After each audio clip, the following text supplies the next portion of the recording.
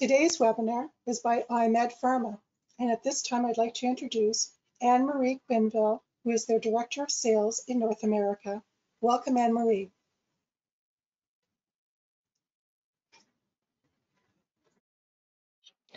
Thank you very much, Cheryl. Wow, what a fantastic turnout. That's impressive. We're honored to sponsor this webinar with the OAO and Dr. Bhatia.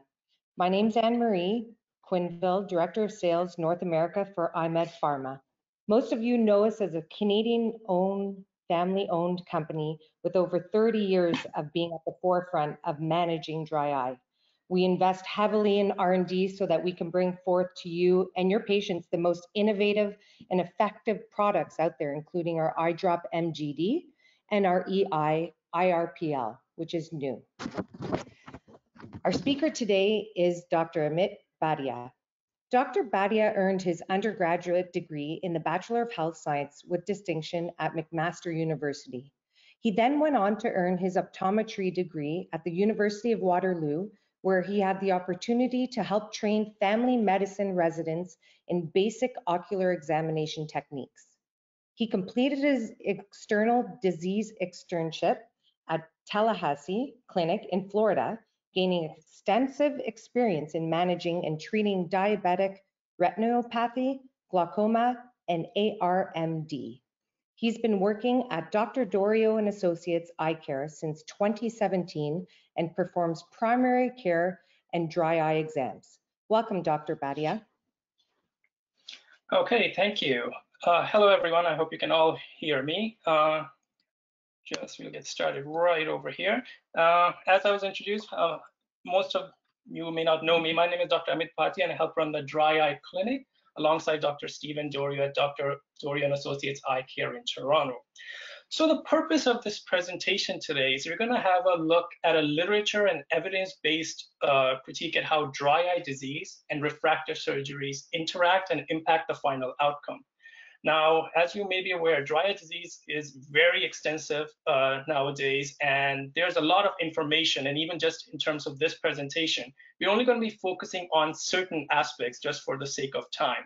So we're going to have a quick overview of a current understanding of dry eye, and then we're going to move on to the main meat of the presentation. So we're going to consider uh, the effect of surgery on the ocular surface and how best we can manage patients before and after surgery. And what the theme of this presentation will be is more than meets the eye. So we're going to try having a look at factors that may not be as readily apparent and as optometrists you may not have considered as much, but which can still have a significant impact in patient care. So before we get started, let's just do a quick little poll so we can pull up the polling question. Are you guys familiar with the 2017 uh, DEWS 2 study conducted by the Tear Film and Ocular Society?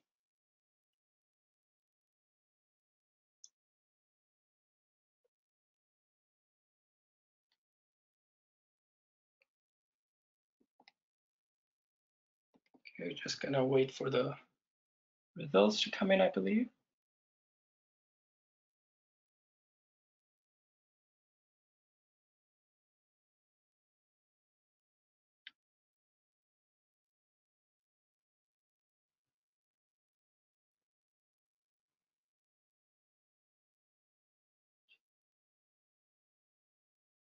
Okay, so that's actually really good. 90 91% of you said yes, that you are familiar with this study. That's excellent. Okay, we can close out of the poll, and then we'll return to the presentation. Uh, so I'm guessing most of you are aware, this was a study that was uh, started in 2015. It involved a lot of healthcare professionals. And what the purpose of uh, this 2 study was, was to get a better understanding and a better definition of dry eye that was more comprehensive and took in the new advances that have been made in the research fields of dry eye.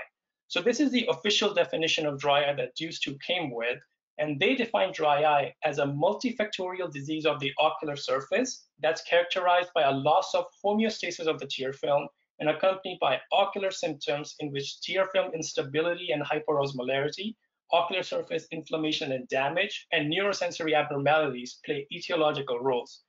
Now, this is quite a huge definition. Uh, you can spend an entire presentation just on this definition alone. But the main idea you have to take away from this is that they uh, recognize dry eye as a complex and significant functional disorder that cannot be characterized by a single process, sign, or symptom. One of the more important uh, things they mention is the homeostasis of the tear film, which homeostasis describes the state of dynamic equilibrium in the body with respect to its various functions, such as chemical composition of fluids and tissues. And the disruption of this homeostasis is a unifying characteristics that leads to dry eye disease. And one of the major things they mention is hyperosmolarity, which is defined by the number of solutes in the tear film or how salty the tear film is. So this is just a very simplified look at how dry eye uh, proceeds or what a vicious cycle of dry eye is created. So on the left over here, you have the healthy ocular surface. As you're aware, uh, our tear film, uh, there's a mucin and an aqueous layer which exist in a continuum. It's not a separate layer. And then you have a lipid layer on top, which prevents uh, the aqueous layer from evaporating too quickly. And this is needed for a healthy tear film homeostasis. Now, there are many different causes that lead to dry eye, uh, such as MGD, or you may have a poor functioning lacrimal unit, you may have corneal damage. And all of these things can lead to a disruption of the film homeostasis. In this example, there's a uh, lipid layer is very poor, so you get increased evaporation, decreased tear volume, leading to hyperosmolarity of the tear film. And this leads to a vicious dry eye cycle. So you get irritation, which uh, releases cytokines, which damage the cell membranes, which causes more tear deficiency. And this just continues on uh, more and more. And one of the major things used to uh, recognize is since dry eye is such a complicated disease, it requires a little bit more objective uh, instruments, especially the newer ones that are on the market. So this is just a quick overview of how we do dry eye testing in our clinic. So we start off with a patient symptomatic questionnaire. There are many different questionnaires on the market. Uh, SPEED, DEQ5, and OSDI are the ones that are used more routinely, uh, especially SPEED and DEQ5, which are shorter and good for screening the patients. And then you can measure osmolarity. Currently, there are two different instruments on the market. You can use iPen from iMed Pharma or the TearLab and MMP9, which is a um, matrix metallopeptide 9, which is a cytokine produced when your epithelial cells are experiencing inflammation, is recognized by a newer instrument called Inflammadry. And you can also take tear measurements with phenol red thread test and Schirmer test, meibography with topographers, which have the capability using uh, iron light, and then obviously using your own slit lamp examination. So this is just a quick overview of how one would manage dry eye patients in their clinic. And this brings us to essentially what the DEWS 2 recommended, how you diagnose dry eye properly in patients is you start off with asking triaging questions through your questionnaire, and then you do your diagnostic test and you diagnose and define dry eye disease if they score high on the questionnaire and they score at least one abnormal homeostasis marker, such as abnormal non-invasive tear breakup time, abnormal osmolarity, or positive surface staining. And then you define dry eye such as evaporative or aqueous. We, I'm hoping uh, when the OA opens up after COVID, we can do a more thorough examination of this process, but for now on, we're gonna move on and focus on surgeries. So before we get started on that, let's just do a quick little poll again do any of you utilize any point of care testing instruments in your practice? So A, do you have the ability to only check osmolarity, for example, with iPen or with TearLab? Do you only have the ability to check meibography? Do you have the ability to check uh, osmolarity, meibography, and MMP9? Or do you have none of these instruments and you, you mostly use slit lamp examination when treating or diagnosing dry eye patients?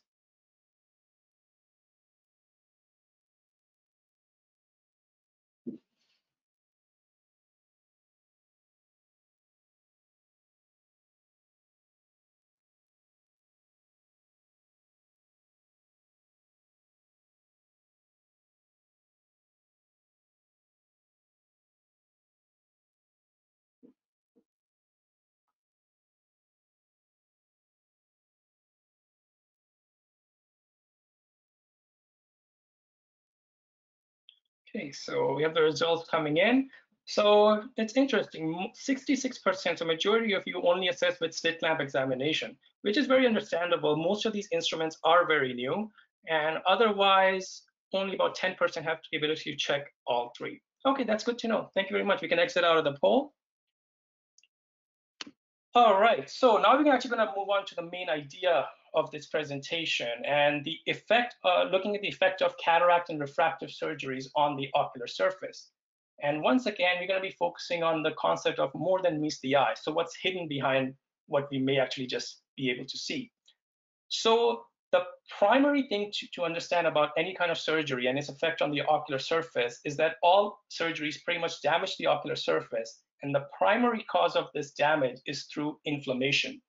And new dry eye disease following either phacoemulsification cataract or LASIK is very common after uh, due to the inflammatory uh, cascade that prom gets promoted.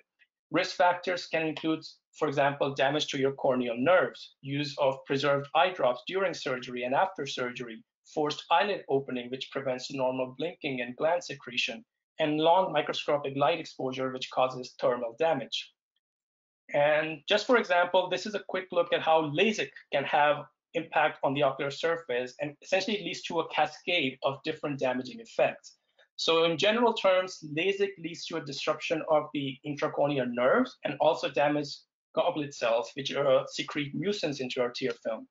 This leads to decreased corneal sensitivity and altered mucin expression, causing tear film instability. The decreased sensitivity also causes decreased blink rate and meibomian gland secretion to go down. And this also increases tear evaporation. All of this can lead to tear film hyperosmolarity, thus leading to more dry eye symptoms. This applies to PRK and phacoemulsification surgeries as well. So let's have an overall look. Uh, looking through what's currently available in literature, uh, what they have noted at Ocular surgeries cause significant damage to a variety of different dry eye signs and symptoms, such as affecting tear breakup time, OSDI score, causing meibomian gland expression to decrease. The important thing to note at optometrists is that majority of the literature supports the finding that all of these detrimental effects peak at about one week to one month, and then they slowly show gradual improvement till three month to sometimes six month onwards. So your patient will feel the worst at roughly about one month period. So for example, this is a general outlook of how tear breakup time is affected. And uh, you can see it initially decreases over uh, here from first day, one week, even up to till one month, slowly showing gradual improvement till uh, three month post-op, and then it stabilizes after that.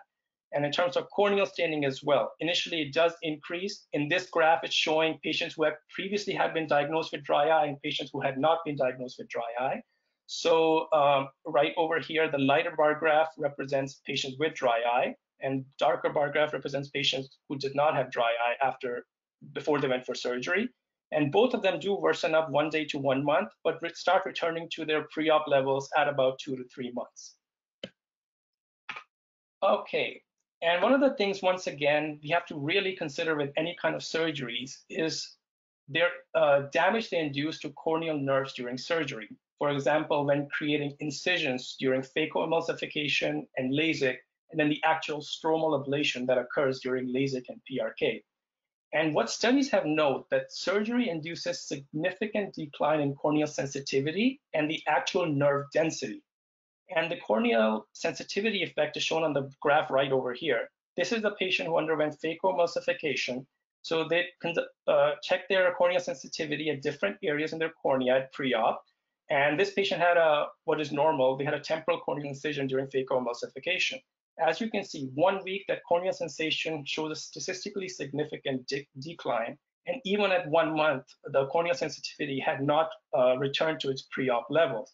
However, by three months, it has recovered to what the corneal sensation was noted to be preoperatively, which is the normal course of action. However, one thing to note is that the actual nerve density and innervation do not fully recover even after one year, some studies have shown. This is important to note because uh, this may explain why some patients have persistent dry eye disease after surgery and they don't recover because their corneal nerves may show aberrant regeneration. And this was a study that was done in 2009, a comparative study by Kim et al., which evaluated the effect of corneal sensitivity and recovery of corneal innervation after cataract surgery. And as seen on the graph right over here, the nerve density uh, significantly decreases post-op. And even by three months, even it had been shown to show a gradual trend towards recovery, it still hadn't recovered to its pre-op levels. This study only went up to three months, but other studies going up to a year show that this effect, uh, this decline stays persistent. And for people such as myself who like a little bit more pictographic representation, this is that patient who underwent surgery. So pre-op, you can see the corneal nerves. They're nice and organized. They're thick. They're easily easy to visualize. And then at one week post-op, shown in here in B, you can see it's disorganized and the corneal nerves are very faint. Even by the one month mark, there's not really much improvement.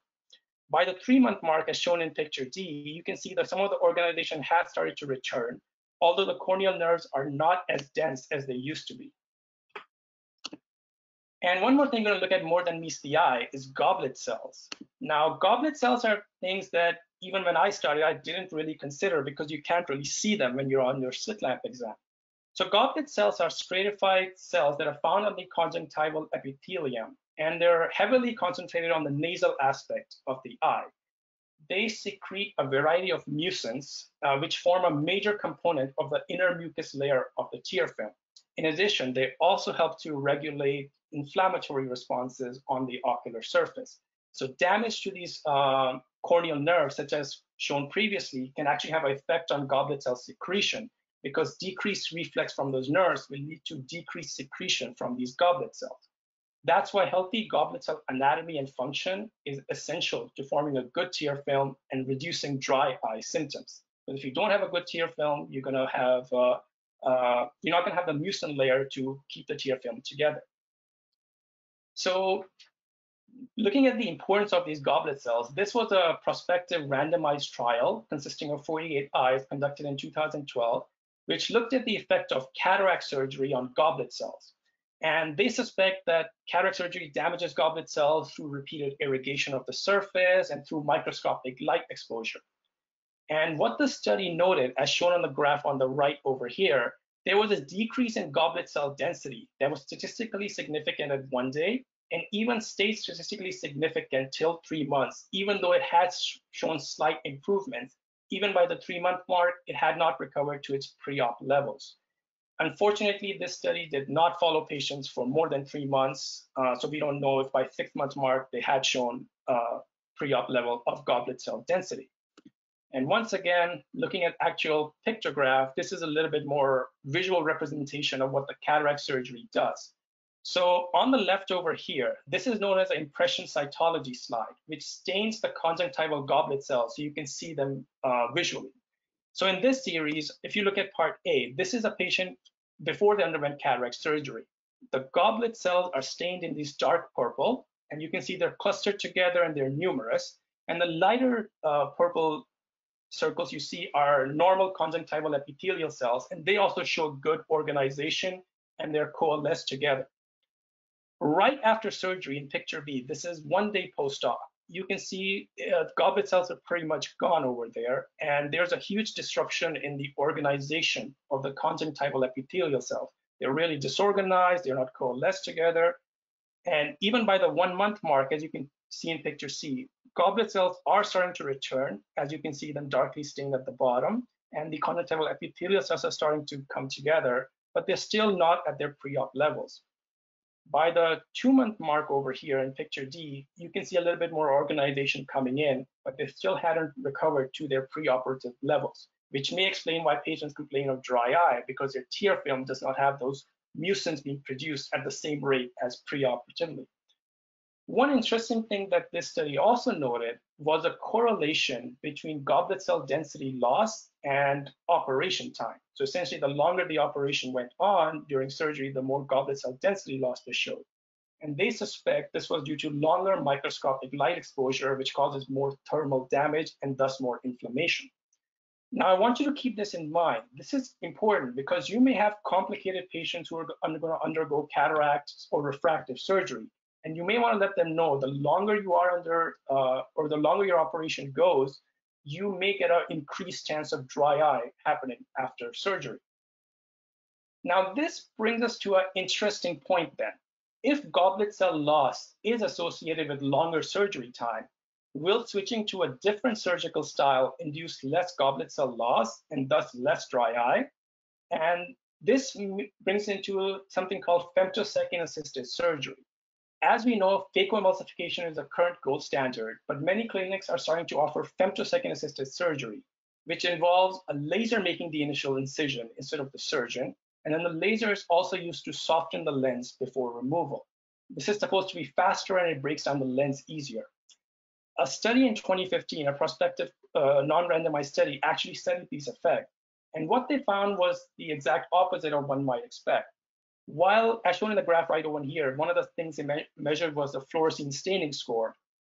While right after surgery, both the laser groups, so femtosecond group shown in the dark uh, bar graph, and the normal phacoemulsification group shown in the lighter bar graph did show uh, dry eye worsen after surgery, the people in the femtosecond group had a much more severe ocular surface staining score than the people in the phaco group. Also, the patients who had pre-existing dry eye ha actually had more severe ocular surface staining with femtosecond surgery, even though the surgery time was shorter. And now you may be thinking, why is that? You know, why does femtosecond assisted surgery actually worsen post-op dry eye? It can be a matter of incision because that's made by in both surgeries. Uh, so it can't be a matter just of corneal nerve damage. Well, it turns out what we have to consider is the unintended side effects of this newer procedure. And the answer lies in the procedure creating the initial incision. So how the actual incision in femtosecond assisted surgery is created is that it requires the use of a suction ring, similar to LASIK surgery in flap creation. And this suction ring creates a strong vacuum seal at the conjunctival corneus limbus region. And a prospective study on LASIK patients actually examined the effect of this suction ring on goblet cells. And what they found was where that suction ring was applied, there was a huge decrease in goblet cell density loss that persisted at least till one month post-op. And what they also noted was that this damage was limited to the mechanical stress of the suction ring. It was not due to other inflammatory markers.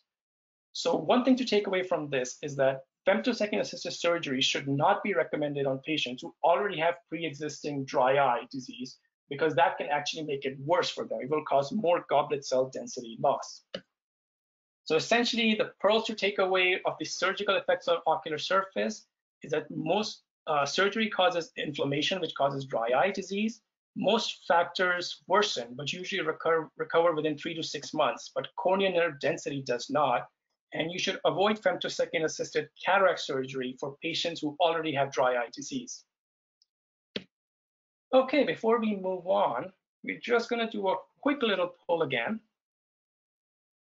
And now I know, understand, in the previous question, you probably, most of you don't have these instruments, but uh, just uh, for, you know, for the people who do have these instruments, I'm curious to know, do you do this point of care testing on patients before you send them out for referral? So A, do you only do them if they are at high risk or if they have a previous diagnosis? B, you only do it if they're complaining of dry eye symptoms. C, you do it on every referral, regardless of symptoms. Or D, you do not have access to these tests.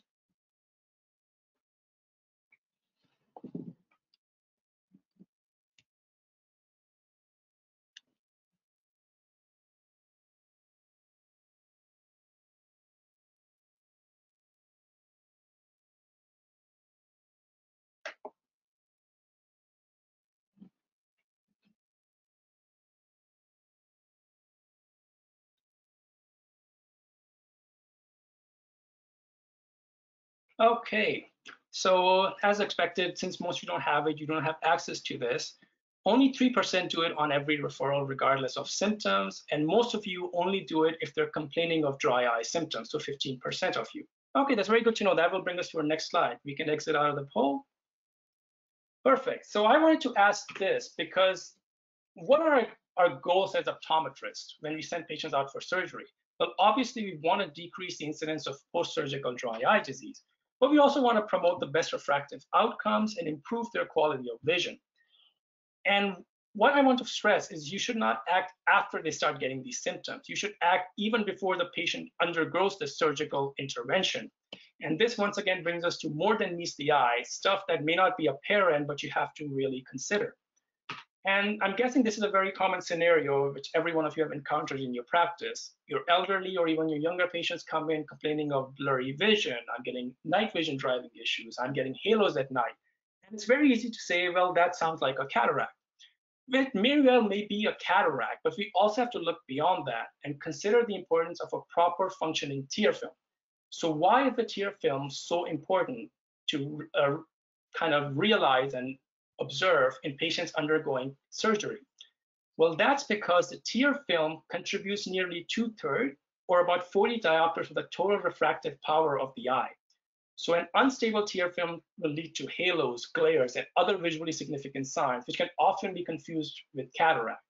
This is, and it's also important to check this in all patients because all instruments which are used for pre-op measurement, such as keratometry, topography, or wavefront analysis, they rely on light projections of the tear film. They assume a stable, clear precorneal tear film, However, dry eye disease results in irregular and highly dynamic tear film, which can affect biometry measurements. In fact, the ocular surface is the rate limiting factor when you're taking these measurements. Let's just have a quick little uh, look at how this can occur. So this is a patient who had dry eye, and this is in, uh, they're undergoing corneal topography. And as you can see, before any treatment, this instrument reflection is incomplete. It's missing some areas, it's not able to acquire as much data, and the mires are a little bit more disorganized. This patient underwent thermal pulsation. Don't worry too much about the actual treatment, but it improved their corneal tear film. And right after that, uh, what they uh, researchers noted, the topographer was able to acquire more reference points, and the mires were more organized, thus providing better data. Even in terms of when you're taking refraction calculations, I found this was a very interesting case uh, so this is a patient who was going undergoing cataract evaluation, and this is an IOL master reading, which is used in Canada as well. And this patient had dry eye uh, that wasn't being treated. And initially, the IOL uh, master said they would need a 20 diopter lens for their cataract surgery. This uh, uh, ophthalmologist put them on one week of cyclosporine and topical steroids and artificial tears. Now, one week is not enough for cyclosporin to work, but the steroids and the artificial tears did improve the tear film quality a lot. And what they found was now the IOL master actually correctly predicted that they would need a 21 diopter lens.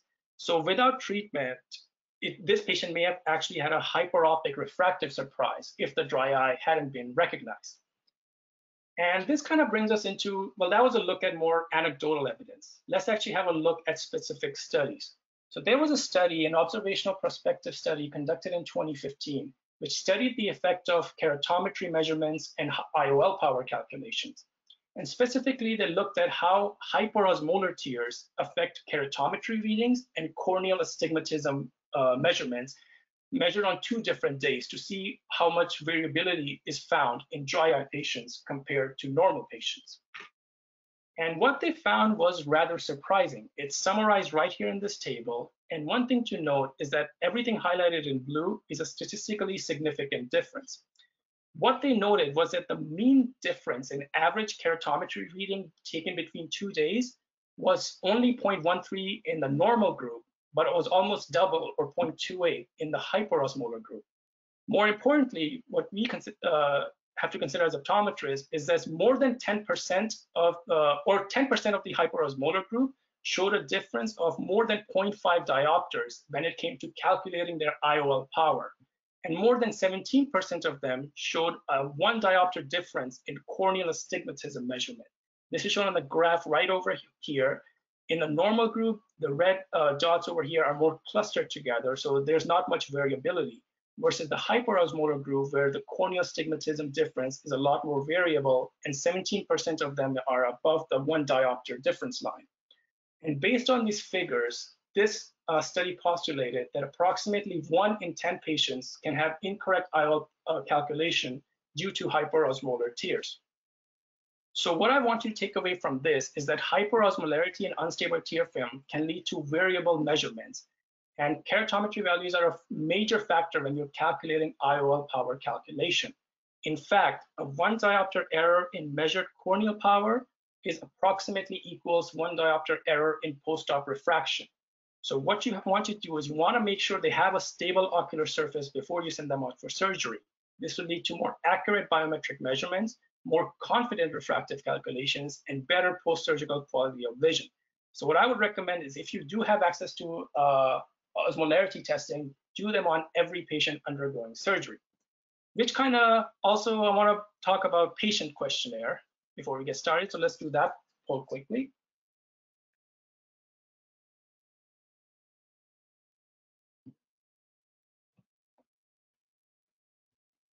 So I just want to say which one, if you do use a questionnaire, which one do you use?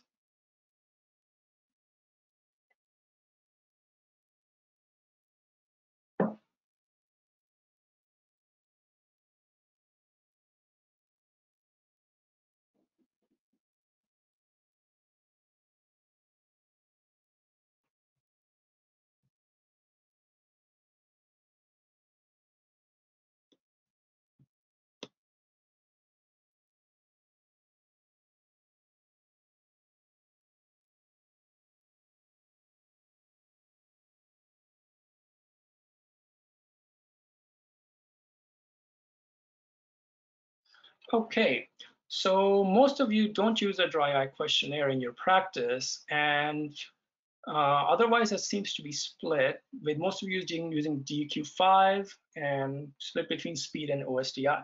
Okay, that's very good to know. Thank you. You can exit out of the poll. And why I wanted to ask this question is I want to have a look at, once again, self-reporting versus objective findings. And what one of you, some of you may be thinking is, do we really have to do all this testing, especially in scenarios where the patient is really not complaining of dry eye symptoms? And even if, let's say, you're like, oh, I want to do testing, how do you convince the patient that they should get tested if they feel completely fine? Well, there have been studies done looking at how self-reporting of dry eye symptoms actually correlates with objective findings of dry eye disease. And one of these studies conducted in 2017 was a multi-center study called the PHACO study. And this study measured the incidence and severity of dry eye in patients undergoing cataract surgery. And they looked at patients' subjective symptoms with questionnaires, and then they evaluated objective slit lamp findings to see uh, what the correlation was. And what they found was rather surprising they noted that 50% had positive central corneal staining with a very poor mean tear breakup time of about 4.95 seconds. And more than 80% of these patients had tear breakup time of less than seven seconds. Now with this, you would expect that the patients would be extremely symptomatic as well. However, what the study noted was that approximately 60% of these patients never complained of any dry eye symptoms, and only 20% actually had any previous diagnosis of dry eye disease. So there was a huge disconnect between the objective findings and what the patients actually reported. In fact, the authors note that without testing, you would have missed 15 to 20% of these patients uh, in terms of diagnosing them with dry eye. Well, this study only looked at slit lamp exams, such as tear breakup time and staining, which most of you have in your clinic. However, nowadays we have, as we said, osmolarity and MMP9. Only a few of you have it, but how does that correlate with object, uh, subjective symptoms? Does the disconnect show when comparing patient subjective symptoms and point of care testing? Well, there was a study to address this question done by Duke and Cornell University in 2018. And similarly, they looked at patient symptoms such as the OSDI score and questionnaire, and then they try to correlate with, with objective findings such as osmolarity and MMP9 expression and corneal staining. And what they found was the underdiagnosis of dry eye is actually worse when you bring these tests into question. They noted that the majority of these patients had at least uh, one of these tests abnormal, more than 80, so 85%, more than one test abnormal, even though 57% had no diagnosis of dry eye disease and 83% of them scored normal on their questionnaire. But even though they scored normal on their questionnaire, 85% had at least one abnormal test and 48% had both tests abnormal. So what the study reinforced is that dry eye disease has a high prevalence and simply relying on patient symptomology or asking them is not enough, and you may be missing about 80% of your patients who have dry eye disease. So in terms of the basic pearls for self-reporting and objective finding, one thing to realize is that dry eye has a high prevalence and is very underdiagnosed, especially in the cataract populations. And you should try to do as much objective testing as you can. And in terms of testing, osmolarity has the highest positive predictive value of dry eye disease compared to other tests. And studies have shown that patients are more accepting of their diagnosis and treatment of their ocular surface disease if they are made aware of it before surgery rather than after surgery.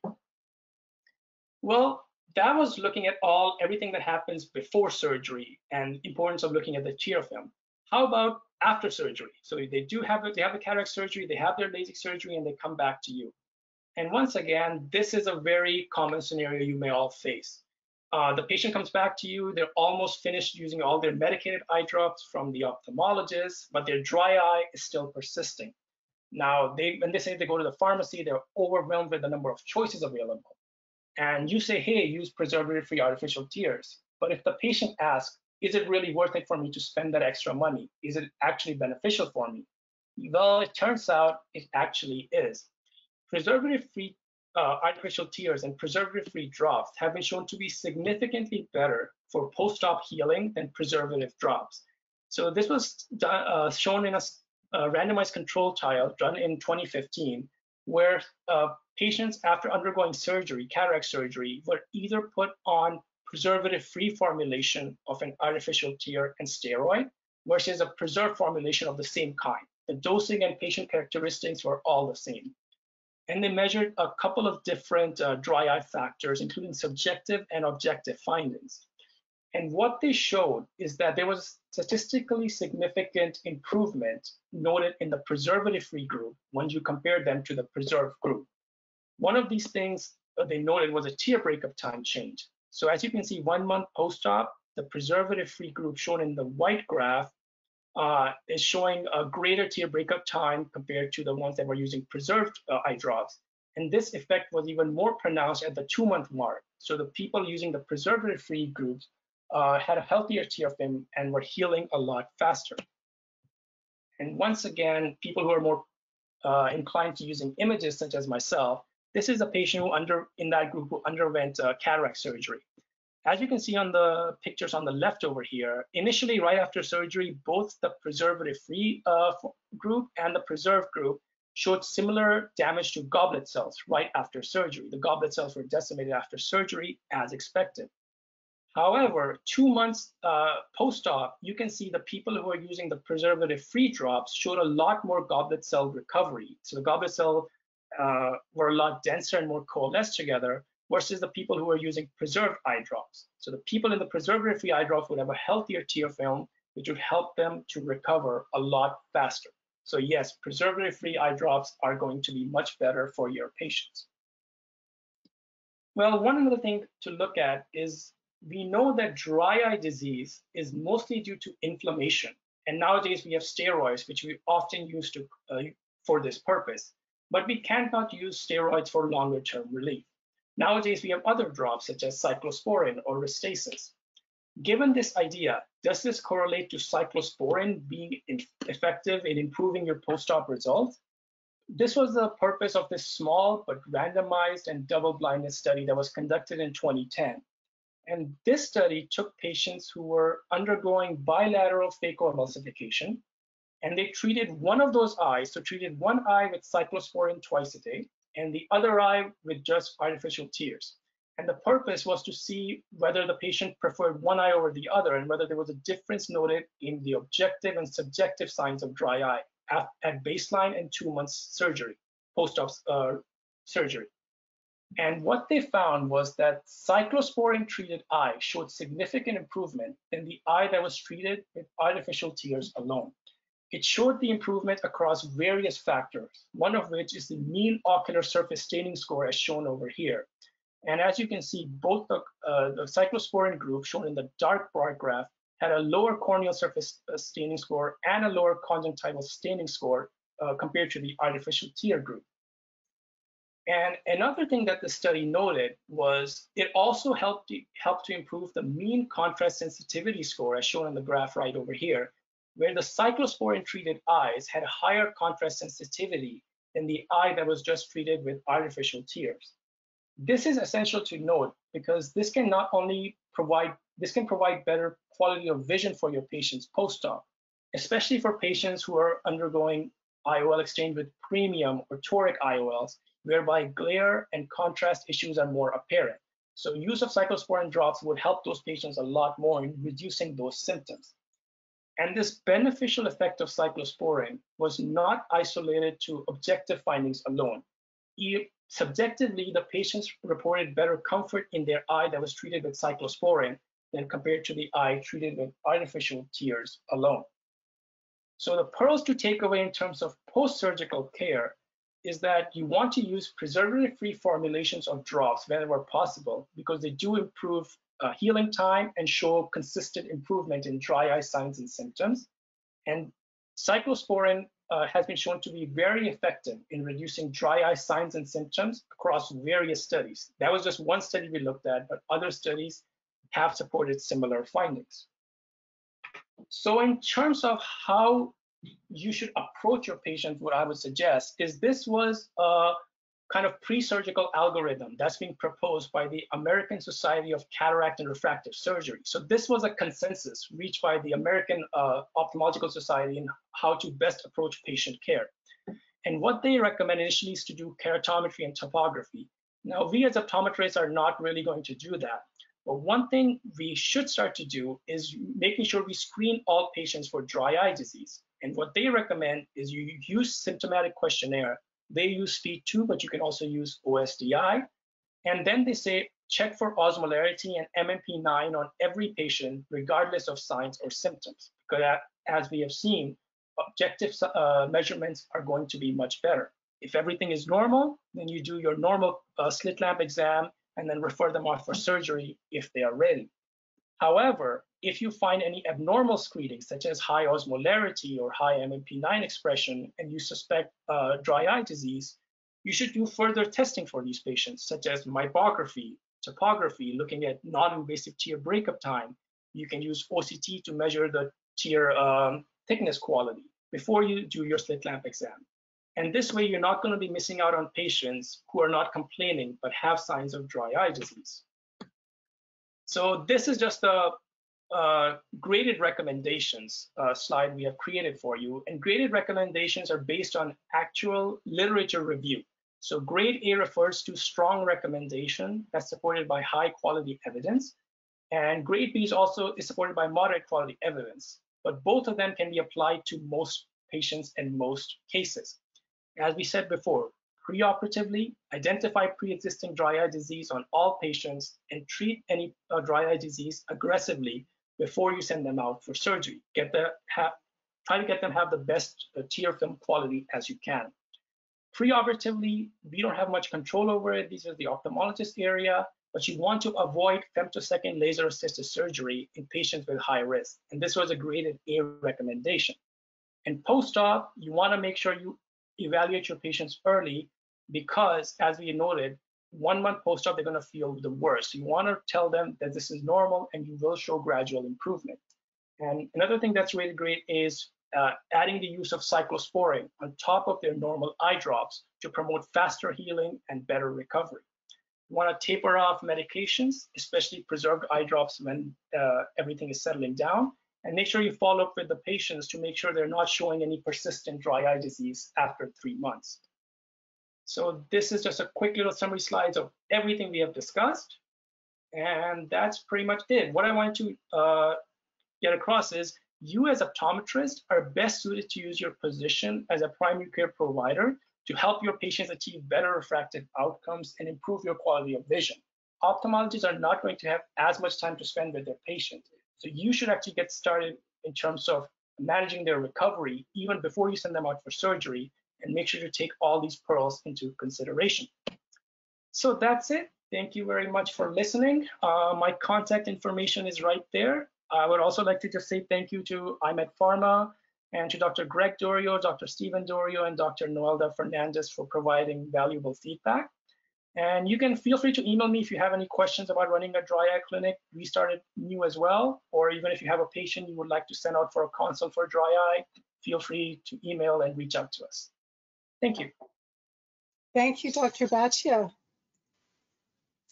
So I will now share some of the questions um, Mhm. you've provided.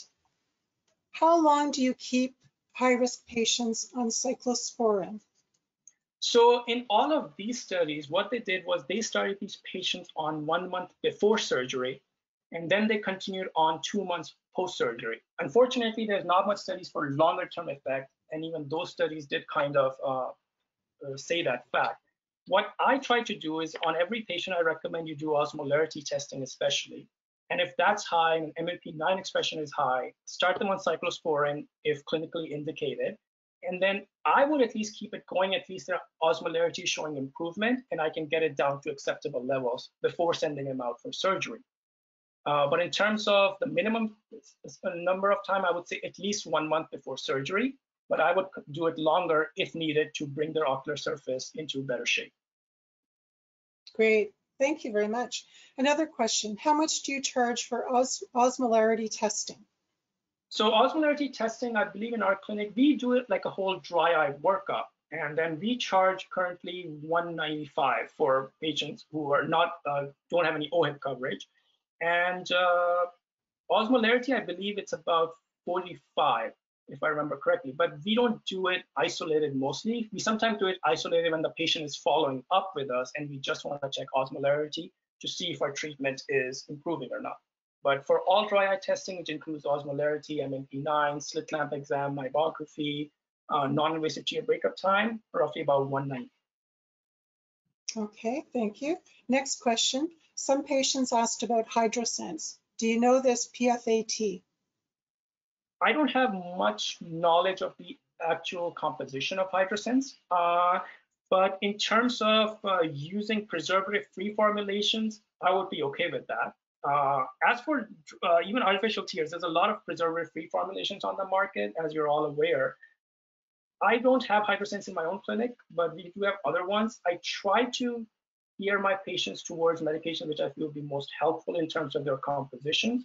So for example, if they have a lot of SPK, hey, maybe trehalose is going to be a little bit better for you. If you have a lot of lipid layer deficiency, then the new uh, I-MED drop, the MGD drop would be a little bit better.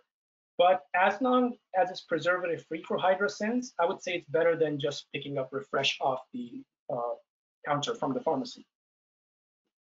Thank you. Next question. Um, does the use of Tri-Moxi dropless CE have the same effect on dry eye? I am going to be honest, I do not know what that is. Can you say it again? Tri-Moxi dropless CE. Dropless CE. Yeah, Dropless. sure. cataract. Oh, that's a, I'm looking at it, apparently it's a newer type of cataract procedure. I'll be honest, I do not have knowledge about this procedure. I don't have any patients who underwent this. So I can't really comment on uh, if it's better or worse. Uh, most of the studies I looked at, they considered femtosecond and phacoemulsification. And in, in terms of that, phacoemulsification has less reported dry eye. But I'm not sure about the dropless cataract. It's trimoxyfloxacin dropless cataract extraction. Yeah, I'm be honest, I'm not aware Yeah, of that okay. procedure. Yeah. Okay, thank you. Another question, We've got lots of questions coming in. How do you prescribe cyclosporin? Is it covered by OHIP drug benefit? Uh, no, I don't believe it's covered by uh, OHIP drug benefit. We do have uh, these kind of, uh, I would say, rebate cards we have from the manufacturer, which we give out to patients, and it cuts off some of the pricing of the Restasis. Now Restasis is a little bit more generically available as well in some cases, so it's cut down the price a bit. I'm not sure about the difference in price between generic and Restasis, but that is one of the different factors in terms of cyclosporin that even we have had in our clinic that it is costly to the patient because they usually have to get about a three month supply initially cost about roughly about 100 bucks per month uh, but i don't believe it's covered by drug benefit Okay, thank you. Another question. Any conflicts with ophthalmologists not recommending femtosecond surgery? so i have talked with one s- uh, surgeon in terms of femtosecond surgery He is not fully sold on it he is not in terms of just dry eye. He says phaco emulsification has just been studied a little bit better. It's the current gold standard, so that's what he's more comfortable with.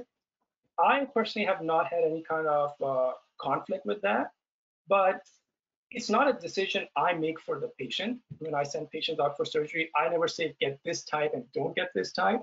I just educate them, and even in my referral, I would put in to the ophthalmologist just even I have a like if this patient has really severe dry eye, do you think femtosecond is is the best option or phaco emulsification and get their opinion?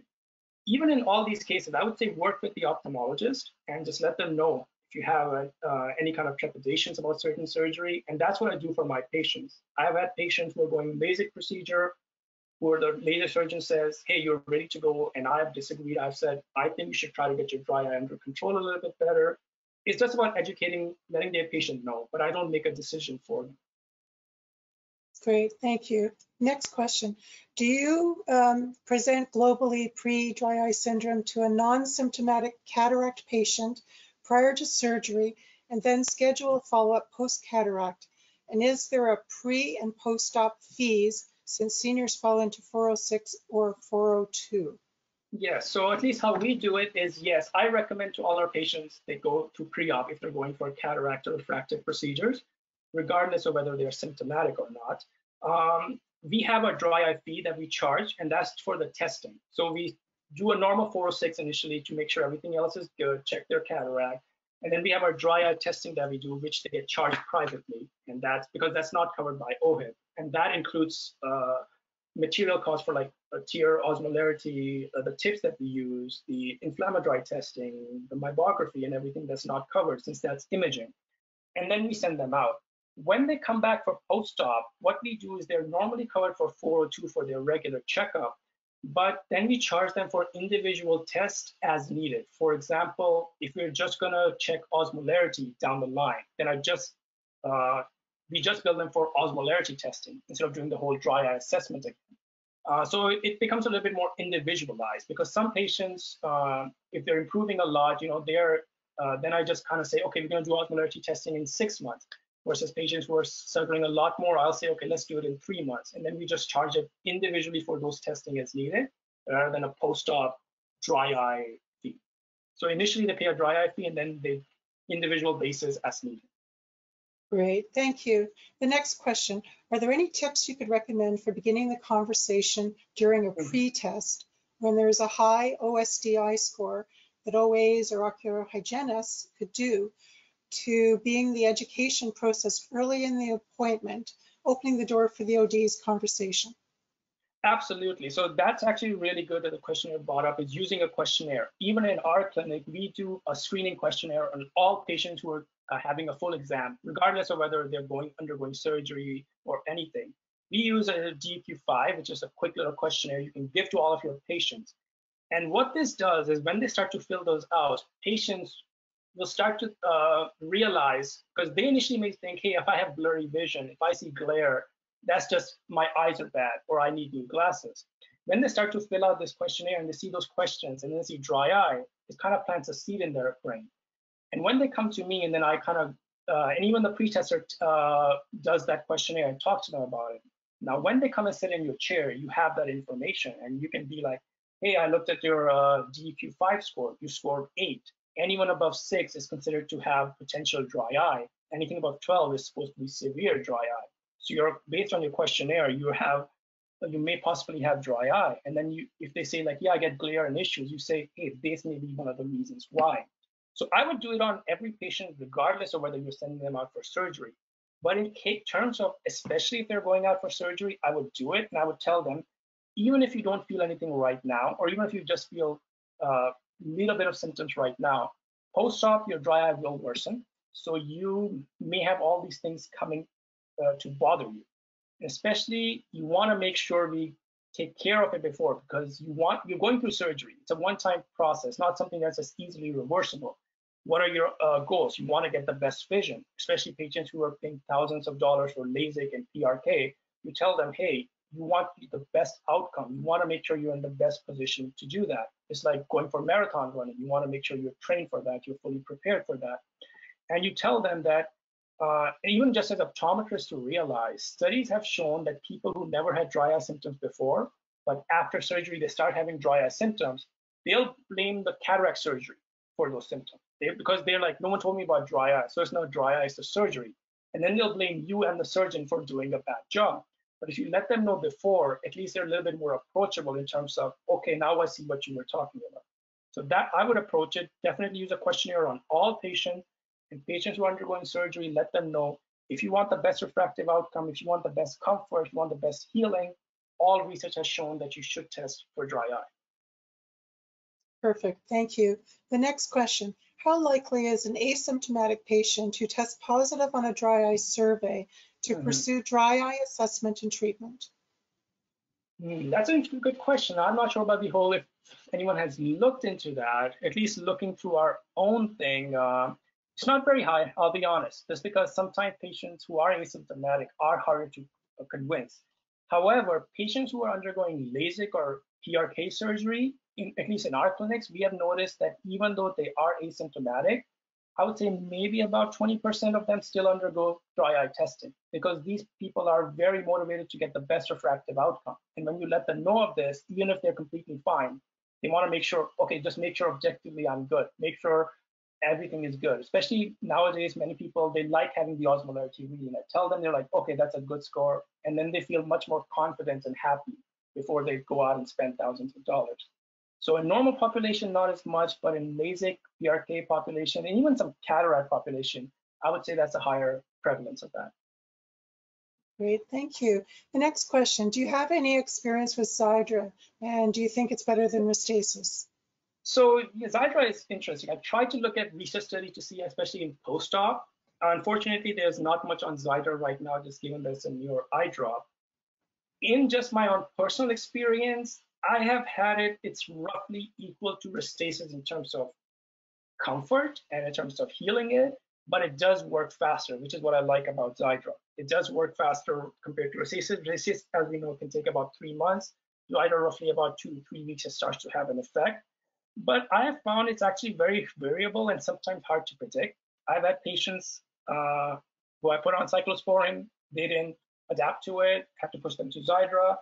I had patients who were initially on Xiidra, did nothing for them, switched them to Restasis and it worked. And I've had patients who didn't react to any of them and they just stopped both. Uh, I don't have any hard data on it, but just personality, personally, I would say they're about equal, but Xiidra wins out in terms of having a work faster. But unfortunately, it's a little bit more involved process because we can't prescribe it, so you have to go through an ophthalmologist. Mm -hmm. Great, thank you. Um, someone is asking, uh, please advise on pricing again as a range for reference.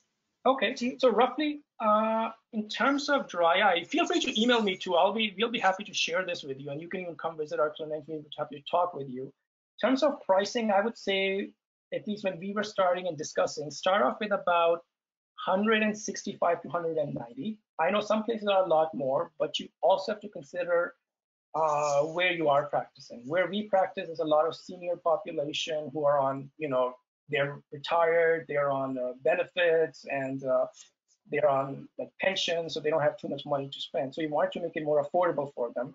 So I would say roughly about uh, 165 to 190 range would be the range for a full dry ice testing spectrum.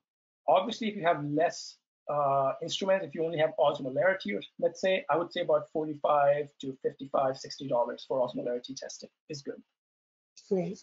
We have two more questions. I know it's three o'clock, but if people want to Mhm. stay on, we'll Yeah, do a few yeah. more questions. Um, how does newer how do newer procedures like SMILE compare with LASIK PRK in terms of post-surgical dry eye disease? So yeah, that's good. I we didn't touch too much on Smile in the actual presentation, but Smile has been shown to be actually much better in terms of lessening dry eye symptoms post-op versus LASIK and PRK. And uh, understanding why that is is because LASIK and PRK, most of the dry eye is caused by due to the central nerve fiber layer density loss due to uh, when the surgery is actually done. But in SMILE, the amount of tissue that's taken out is lessened, and the area where that tissue is taken out is lessened as well. So you get less corneal nerve damage. And uh, we didn't present it in the presentation, but there was a study comparing SMILE to LASIK, and what they found was At one month mark post-op, in terms of dry eye symptoms, LASIK and SMILE are similar. However, by the six month mark, the patients who had SMILE were doing a lot better. They had lower OSDI score, they had better tear breakup time, and they had a lower osmolarity. And by the six month mark, 80% of the people in the SMILE group did not feel the need to use any eye drops. So 80% of them said, I'm good without eye drops. And by the six month mark in the LASIK group, 57% of them said they didn't need eye drops. So SMILE is also has been shown it uh, increase uh, the corneal nerve sensation recovery is faster in SMILE, and there's less nerve density loss in SMILE. So in, just in terms of strictly in terms of dry eye, SMILE is better. Great, thank you. And we have one last question here. Asians tend to have higher prevalence of dry eye disease in the general population. Does this also extend to them having a higher likelihood of dry eye post-surgery? Uh, yeah, Asians do tend to have higher prevalence of chronic dry eye even before surgery, just in normal, when you look at normal prevalence. But after surgery, this is the case as well. So there were some studies conducted on patients who underwent LASIK, and they looked at an Asian population and compared it to Caucasian eyes, and the difference was really apparent. Um, what they found was Asians already tended to have more dry eye before surgery, but after surgery, the difference became more pronounced. The Asian eyes showed slower recovery to their pre-op levels compared to the Caucasian eyes. And at the six month mark after surgery, the Asian eyes were pretty much worse in all the different factors measured versus the Caucasian eyes. And we don't fully understand why that is. And some of it may be just due to the eyelid shape. And what they have also noted is just due to the lid laxity uh, we fully understand why, but studies have shown that Asians tend to blink less. And when they blink less, especially after post-surgery, they get less, uh, their tear film is more disrupted, and which would cause uh, those higher degrees of dry eye symptoms that's seen. And another thing, maybe Asians tend to be more myopic, so they require more ablation during surgery. So there's deeper stromal ablation, so you'll get slower recovery of the corneal sensation and corneal nerve density compared to Caucasian eyes. Well, thank you. Thank you so much. At this time, I'd like to thank Dr. Bhatia for this insightful presentation, and I'd like to thank I-MED Pharma for partnering with OAO for today's webinar.